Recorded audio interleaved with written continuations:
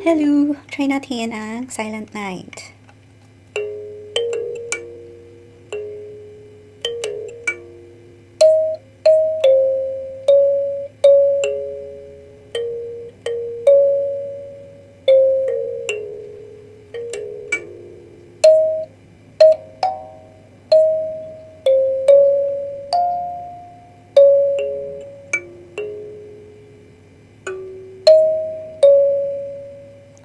Merry Christmas!